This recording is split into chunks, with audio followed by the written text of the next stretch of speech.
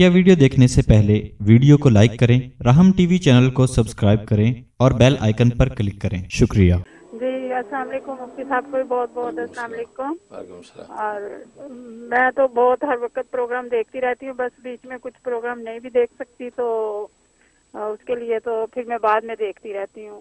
तो अभी मेरा तो मुफ्ती साहब से ये सवाल है कि मेरी तबीयत अजीब सी रहती है डॉक्टर मुफ्ती साहब जैसे मैं बस पता नहीं क्यों परेशान थी और पता नहीं क्या है मुझे।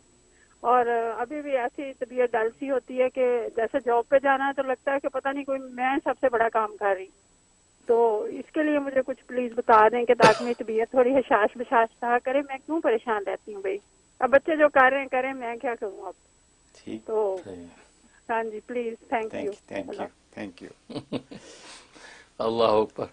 असल में परेशानी की वजह सिर्फ़ एक ही है और वो यह कि शुक्र नेमत की कमी है। नेमतों की शुक्र की कमी है, इसलिए परेशानी आती है। जो नेमतें अल्लाह तबारक वाली दे रखी उन पर गौर करें। अपने जिसम जान दे रखा है, देखने वाली आँखें, सुनने वाले कान दे रखे हैं। भले कम देख रही हूँ, लेकिन देख तो रही हूँ। बाज़ तो लोग नाबीना है।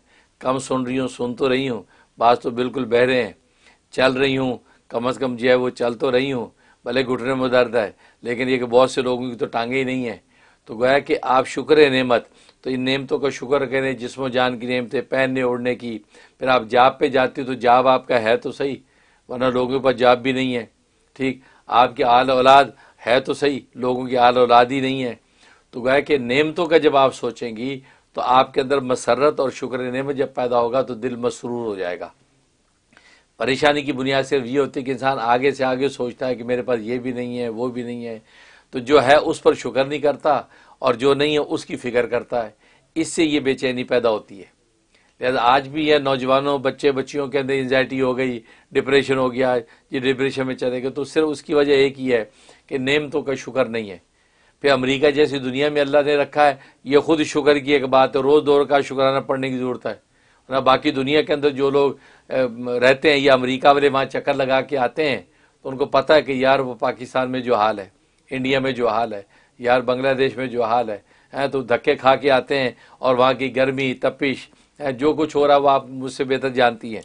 तो कहते यार, हमारा अमेरिका तो जन्नत है तो शुक्र करते हैं।